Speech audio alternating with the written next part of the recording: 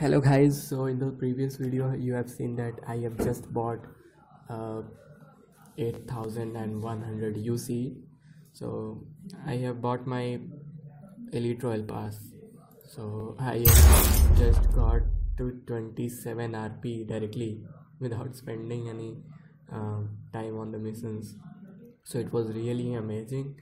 And now i have left with 6480 ucs now if you want it you have to just follow three steps.